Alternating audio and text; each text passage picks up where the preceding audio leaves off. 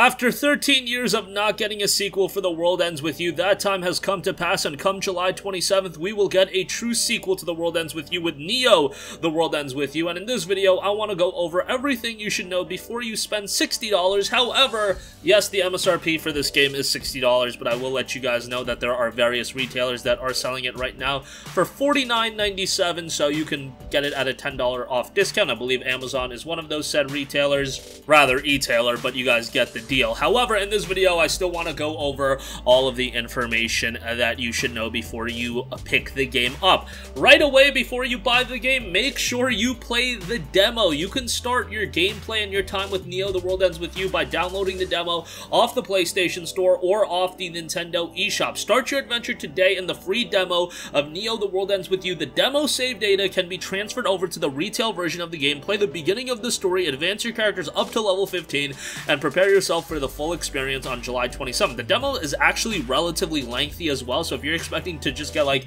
a 15 to 20 minute demo, no, given the fact you can get up to level 15, you actually have a pretty sizable demo here, so you should definitely take advantage of that. Also get an idea of what the game has to offer from a gameplay standpoint, since obviously, since this is on the Switch, on the PlayStation 4, it's going to be very, very much a stark difference than the original World Ends With You, which was initially a Nintendo DS title, ported to the mobile platform, and then also put on the Nintendo Switch. The story, let's go over some background as it is a follow-up to The World Ends With You.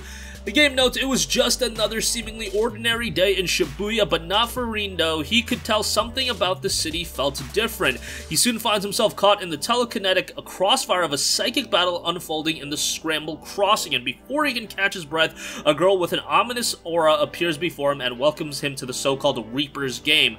With some trepidation, Rindo and his friend Fret play along, convincing themselves that a game couldn't have any serious consequences. It isn't long, however, until they start having second thought, Rindo's instinct was right. Something about this Shibuya is a bit different, and if you're familiar with the First World Ends With You, you know the Reaper's game isn't all as what it seems. But nevertheless, a pretty good layout for this story, and generally speaking, kind of similar to what we saw in the original game. Let's go over the characters, because of any JRPG, the characters are going to be at the crux of the story, and we know of four main party characters, but more can join in the future. We don't know any clarity on that. This is going to be a lengthy game, so things are always going to be in flux. Obviously, you have Rindo, the main character and one of the newest players in the Reaper's game. Rindo is a high schooler to whom searching for info on his phone is second nature. He prefers to go with the flow, and although he doesn't go out of his way to interact with others, he won't turn them away if they come to him first. Tr thrust into the game without ever realizing it, he now serves as the de facto leader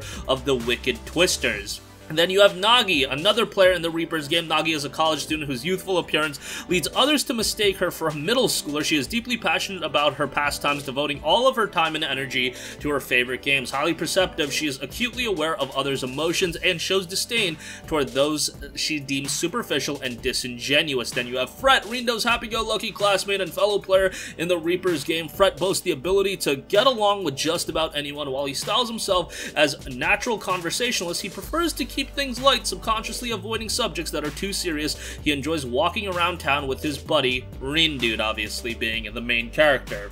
And lastly, you have Minamimoto, who puts his impressive psychic powers to use when he saves Rindo and the gang from a tight spot early on, then forces himself onto their team. He calculates every possible future using his own unique formulas and acts as in accordance with the values he discovers, but he remains a mystery to all around him. He seems to have his sights set on something greater than Rindo and the gang. So those are the four main characters that you are completely kept aware of. Obviously, there are going to be a lot of other main characters, and the game is going to be a relatively lengthy story, so expect a lot of characters to come in and come out, and a lot of them with depth, and as far as the cast itself goes, do expect some surprises in that as well, which I won't go into since I know a couple things about the game, but let's not divulge into too many spoilers. Okay, obviously this is going to be a lengthy JRPG, and it was noted by the developers themselves. There's a lot more to do in this game, especially compared to the original game. I think reaching the ending alone will take around 50 hours. Also noted, if you're the type of player to do everything a game has to offer, expect your hour count to reach the triple digits. There's a lot to collect in the game, everything from character profiles to pins, with some challenging fights thrown in as well. Clearing certain milestones in the game allow players to receive graffitied stickers, which you can decorate the back streets of the world with. This was coming from a conversation with Tatsuya Kando with 4Gamer, and it was translated by Nintendo Everything. So credit to them on the word on that. Now, 50 hours to get to the ending and 100 hours to do everything. We sometimes hear about these hyperbolic uh, time stamps that people attach to games. Like, I always take that with a bit of a grain of salt. Um, you know, 50 hours to get to the ending. For somebody like that is the average person that's you know going through the game naturally. I think it's going to be a little bit shorter. They might say 50 hours but honestly more often than not i do see games being a little bit shorter than whatever the developers say that it is so I would go into it expecting more of a 35 to 40 hour experience, but it's going to be a long game, and if you're looking for a game with a lot of content, this is going to have a lot of side content and additional things to do, and you kind of got a taste of that in the demo, so go, again, play that demo if you want an idea of what to expect in the main game. Now, obviously, Neo The World Ends With You is a follow-up to The World Ends With You.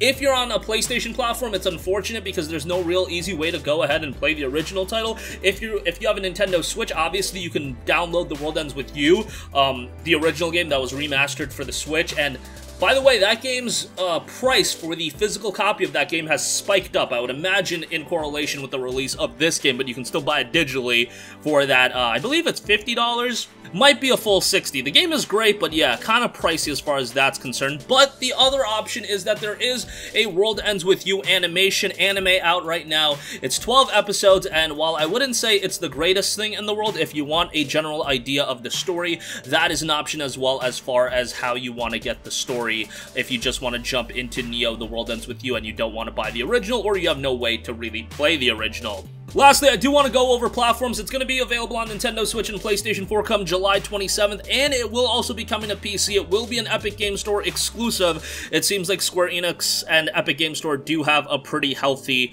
relationship going on right now. Rumblings that the Final Fantasy VII Remake will also be coming to PC as an Epic Game Store exclusive, so that is something to consider, but that will be available later in the summer. I would imagine after a one-year timed exclusivity period, it would be coming to other e-tailers on PC, such as Steam, but Again, the game is available at an MSRP of $60, but you can pick it up for $50 over on like Amazon and a couple of other uh, e-tailers and retailers, so can get it a little bit cheaper already. Go ahead and play that demo and let me know what you guys think about the demo. Let me know if you're picking the game up. Is this one you're going to wait on for a bigger sale? Let me know all of that information in the comment section down below. I'm super excited for the game, and I think if you do play that demo, that is going to sell a lot of people on the game. And excellent, excellent music to this game as well. Some of the soundtrack is already uploaded on YouTube. Go ahead and listen to some of that because if you listen to that, you're a fan of like alternative rock or some of the songs that were in the original World Ends With You, that is going to be right up your alley. One of the best OSTs of the year by the looks of it. So that is definitely one of the killer aspects of this game. So sound off with all of your thoughts in the comment section down below. Thank you for watching and goodbye. Hey guys, we hope you enjoyed the video, and if you did, make sure to hit the subscribe button, and if you're already subscribed, do us a favor and hit the bell icon. This way you'll be notified whenever we post a new video. That's the best way to keep up with all of our uploads, and we usually try to upload two videos a day. And with the bell icon hit, you'll be notified whenever we do upload a video. As always, thanks for watching.